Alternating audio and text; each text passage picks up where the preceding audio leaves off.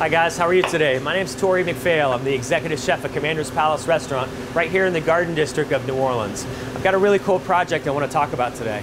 My friend Blake Boyd used to live just down the street during Hurricane Katrina, and he started this really cool project called Louisiana Cereal.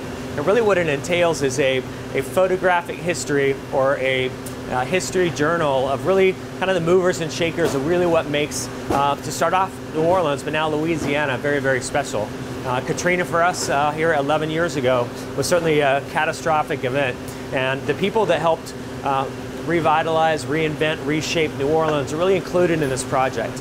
Really the nuts and bolts of the project are all about a um, photographs of, of all the best people that have helped put the building blocks of our city really back together. Uh, so Blake's a really, really good guy, and it's a very uh, amazing time capsule of events that have helped lead us from where we were during Katrina to where we're at for today. Uh, for me, I'm a chef. This is what I do for a living. But if you think about icons of food, think about Paul Prudhomme, who you know used to be the chef of Commanders for years and years. Now, unfortunately, he's not with us anymore, and he's passed on to uh, a different place. But this um, this journal really captures all of it. Even like big, big names like. Um, uh, George Rodrigue, fantastic painter, beautiful musicians like Allen Toussaint, Uncle Lionel, um, you know, really colorful people that have helped shape the landscape, landscape of Louisiana, as also New Orleans. So for me, I'm very proud and thrilled to be part of this project, and I think you should too.